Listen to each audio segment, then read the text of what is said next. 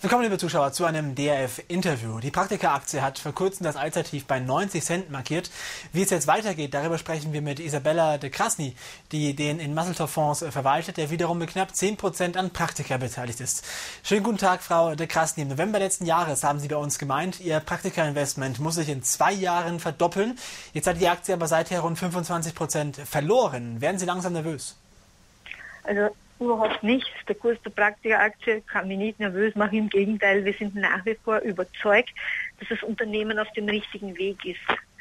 Der, der lange Winter hat das erste Quartal zwar verhagelt, aber wir vertrauen trotzdem dem Management in dieser Situation, äh, das Richtige zu machen. Und äh, übrigens, das Bankhaus Bärenberg hat sich ganz kürzlich zu Wort gemeldet und das Kursziel mit 2 Euro angegeben. Das bestätigt uns.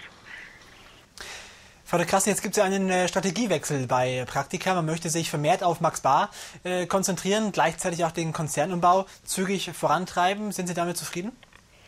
Also wie Herr Burg in der Hauptversammlung bereits berichtet hat, hat die Rohertragsmarge bei den umgeflaggten Märkten um 5% bis zu 5% zugelegt und damit äh, wird gezeigt, dass eigentlich das Umflagen die richtige Strategie war. Äh, gemeinsam mit den Kostensenkungen sollte dann eigentlich der Break-Even relativ schnell erreicht, erreichbar sein. Äh, wir sind eigentlich mit dieser Strategie sehr zufrieden ich glaube, 50 Standorte sind schon umgeflaggt worden. Äh, so wie er berichtet hat, gibt es derzeit eine Pause und wird im Herbst weiter umgeflaggt, äh, damit man jetzt die Zeit, wo eben der größte Umsatz gemacht wird, keinen Umsatz durch das Schließen von äh, Filialen erleiden muss.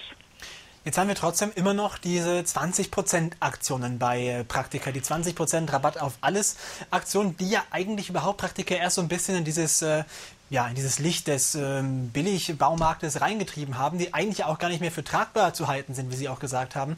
Ist das wirklich noch die richtige Strategie, wenn generell die Margen im Baumarktgeschäft doch eh schon unter Druck stehen?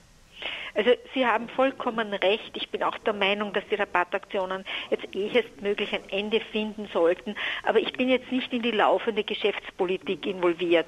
Also ich kann mir nur vorstellen, dass diese Aktionen im direkten Zusammenhang mit dem langen Winter stehen und bevor man auf Ware sitzen bleibt, verkauft man sie eben günstig ab. Was macht Sie denn jetzt so sicher, dass der operative Turnaround 2014 wirklich kommt, um da nochmal drauf zu blicken? Schauen Sie, wir haben vollstes Vertrauen in ein erfahrenes Management und den Aufsichtsratsvorsitzenden, der ein erprobter Sanierer ist. Und genau weiß, an welchen Schrauben man drehen muss, um ein Unternehmen wieder auf die Beine zu bringen. Außerdem haben wir zwei weitere Profis aus dem Einzelhandel für den Aufsichtsrat gewinnen können und wurden auch von der Hauptversammlung gewählt, die jetzt ihre Expertise einbringen werden.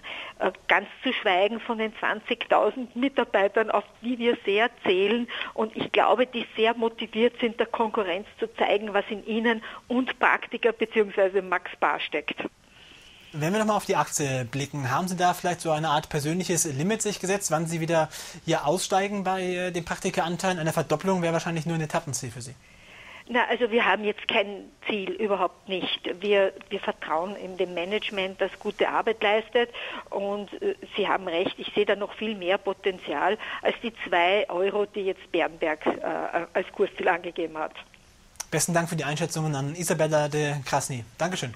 Sehr gerne. Alles Gute. Wiederhören.